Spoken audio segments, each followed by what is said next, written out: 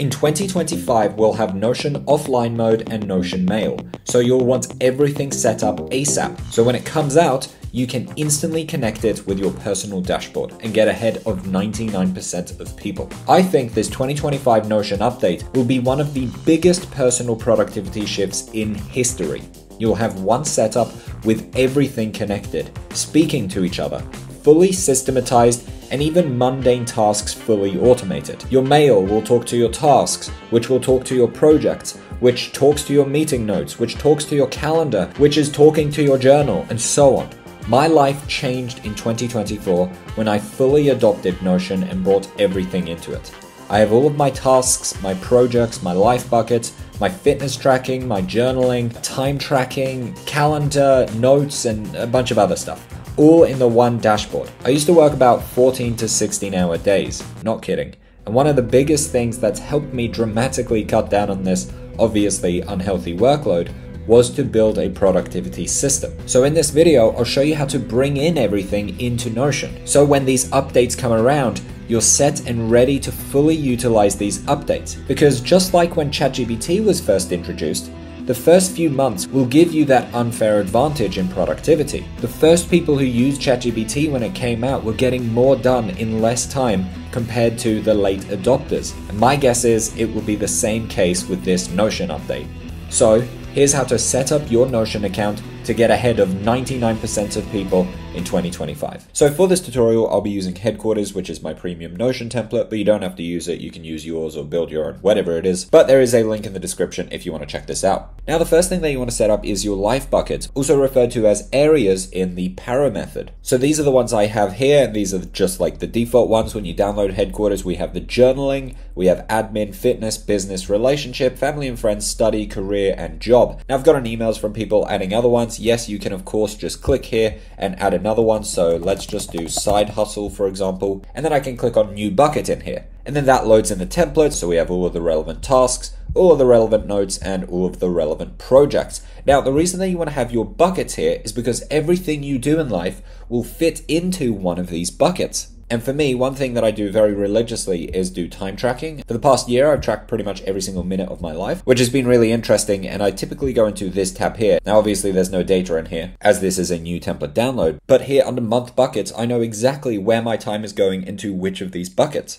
How much time have I spent on my fitness? How much time have I spent on my job? How much time have I spent trying to progress my career, etc.? And everything you do will most likely fit into one of these buckets. And like I said, you can obviously just add another one. So the first thing that I would do is ensure you have all of your life buckets set up in Notion. Now, under life buckets, like we talked here with Side Hustle, we have projects. So what I recommend doing is going through your life buckets here and adding the relevant projects. So let's just say here, side hustle, you have like an Etsy shop or something. What you can do, I'll just make this full screen. What I would recommend you do is start adding in the project. Now, these don't have to be the ones you're working on right now, but let's just start adding some. So I'll click on new up here, and this is a new project. Let's just say set up Etsy account. And as you can see by default in here, the project's tasks show up, the notes and the bottlenecks. We don't have to go through that right now, so I'll just click away. And then down here under no status, we have set up Etsy account underneath, and that is relating to side hustle because we are on the side hustle page. So in here, you can add all the ones you want. Now, if you want to, you could say, okay, which one of these am I going to make my favorite? And I have a rule that I talk about in my productivity course. You only really want two projects here in your personal life to be labeled as favorites, to be the ones that you're actively working on. And then you can have three projects under your income. So whether that's job or whether that's a business, whatever you do full time. So you can have three projects under your your income labeled as favorite. Whether you're using headquarters, a template you've made, or even if you're not using Notion, whatever system you have, it's going to be unrealistic to have more than five projects that you're working on at any given moment. So the second step in setting up your Notion is going through your life buckets and adding all of the relevant projects. And then what you want to do is favorite five of them. So you can either do that directly here under life buckets, or you can do that here in the project section. So if I just do that here, let's do for job, for example, let's just say update website and the life bucket here is job Of course, you can add a deadline as well. Let's just say tomorrow. I really should get started on that. And now I've added this as another favorite. But of course, most likely you'll have a ton that are no status, so you're not working on, and then five here under fave. The next thing you want to do is add any relevant tasks. Now, some people have said to me they go in straight away and just start adding all the tasks. So set up Etsy account here. They're like sign up to Etsy, make Etsy icon or whatever it's called,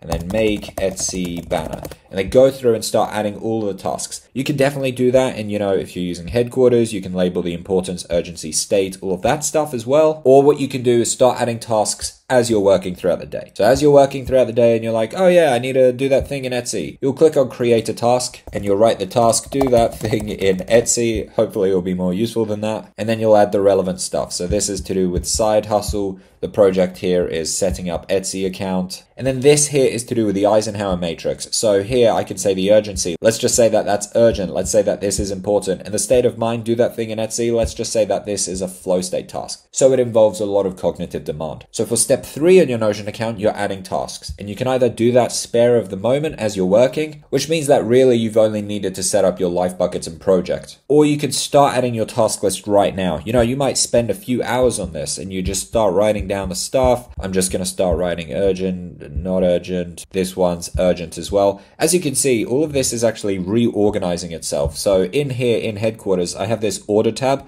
which uses the Eisenhower matrix to actually organize this list for you based on the importance and urgency. So it's doing that in the background here for you. So then in 2025, as you're waking up and you're thinking, what should I do today? You just look at the top of your task list and then you simply whoop, drag it in. And now I know today I should be doing that thing in Etsy. And then the next thing, okay, cool, I have more time today, click here, boom, I should make that Etsy icon. So we're literally just working from the top of this list. And as we're completing those items, we're either ticking them here on the Eisenhower matrix or we can tick it in here, of course, like that. That's the way I work and it's really, really useful. So if you've got maybe half a day to do some planning, what you could do is go through your task list and start adding tasks under every single project.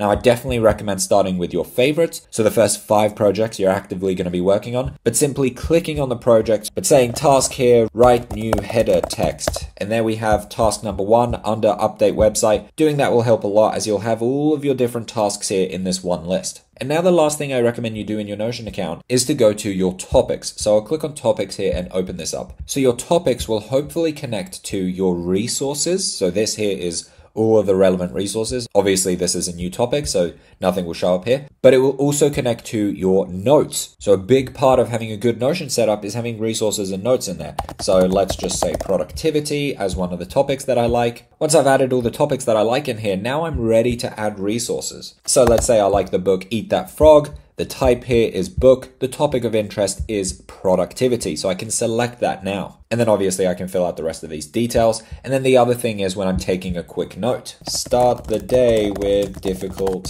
thing. And the topic of interest here is productivity. So I can take this note here and obviously I can even add it to relevant buckets and project. Make sure when I'm planning my day, I start with the difficult thing. And there we go. I've taken this note with the relevant topic of productivity. So now I can find all of the relevant resources to do with productivity. So it's eat that frog and it's this note here, start the day with a difficult thing. Now you have fully set up your Notion account for 2025. If you found this template interesting and you want to check it out for yourself, then click on this video here, which is a full tour of the template. It has over 2,000 users and a 5-star rating. It is one click to download and you're ready for 2025.